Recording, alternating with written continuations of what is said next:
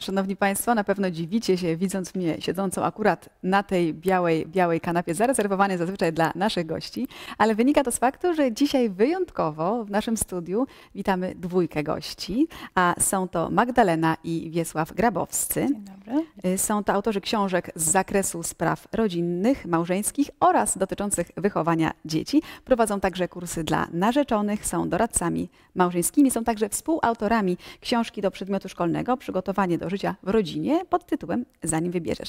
Do Stanów Zjednoczonych państwo grabowscy przyjechali na zaproszenie organizatorów konferencji Jak być rodzicem i nie oszaleć, czyli chrześcijańskiej fundacji Polonia z Jezusem. Pierwsza konferencja odbyła się w ostatnią niedzielę cieszyła się wielkim zainteresowaniem.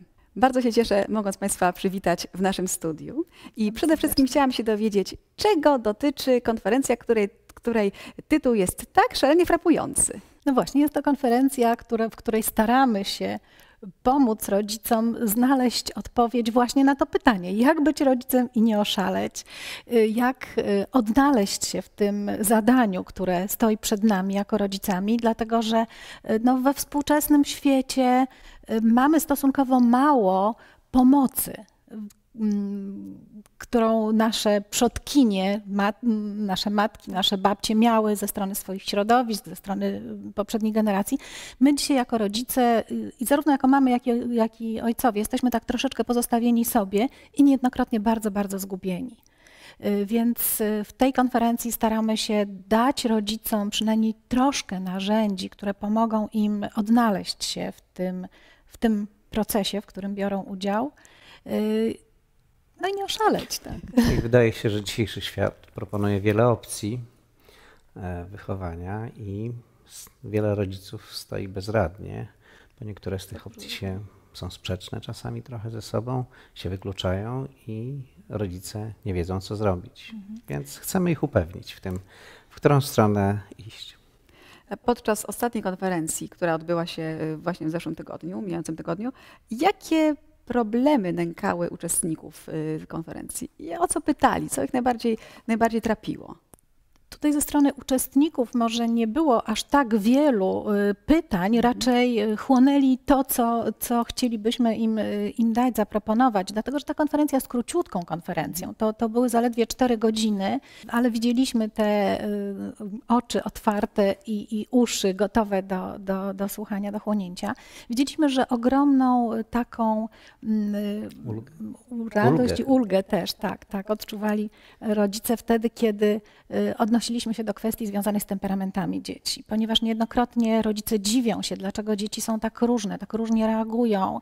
Z tych samych rodziców, tak samo wychowane, a jednak bardzo różne. I my na naszych konferencjach sporo mówimy właśnie o kwestii temperamentów, odczytania temperamentów, potem wychowywania, y, temperame- wychowywania, y, kształtowania charakteru na bazie temperamentu. I to daje rodzicom rzeczywiście takie poczucie ulgi i odnalezienia się, zrozumienia. Myślę, że nie tylko ulgi w odnalezieniu swoich dzieci, czy określeniu swoich dzieci, ale czasami doznają ulgi co do samych siebie, że tak. jakby zdejmują z siebie ten ciężar że, i dają sobie przyzwolenie, że mogą być inni po prostu. Ale to, co wydaje mi się najistotniejsze, to ym, odpowiedź na pytanie, gdzie naprawdę szukać pomocy. Tak.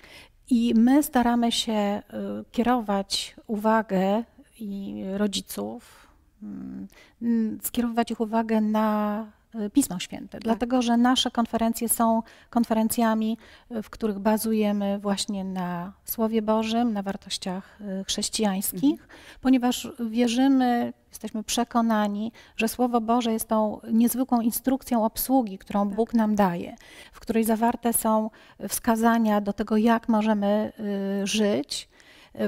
Bóg nas zna najlepiej, On jest naszym stwórcą i On też ma najwięcej do powiedzenia na temat właśnie wychowania dzieci. I jeśli odnajdziemy te zasady, które tam są, to stoimy na takim pewnym fundamencie, bo tak jak y, mąż powiedział, dzisiejszy świat daje nam dużo różnych pomysłów na, na, na zresztą na wiele spraw dotyczących Tak. naszego życia i często jesteśmy pogubieni. Natomiast Słowo Boże jasno daje, stwarza pewien fundament stabilny i, i do tego, do odczytania Tak. tego zachęcamy. Czyli wbrew pozorom y, życie w zgodzie z chrześcijańskimi wartościami nie jest trudne, zdaje się. Wręcz przeciwnie, być może ułatwia nam podejmowanie pewnych decyzji, wyborów, bo wiele osób uważa, że o mój Boże, to takie skomplikowane, to będę musiał tak, tak, tak y, się pi- pilnować, to jest trudne.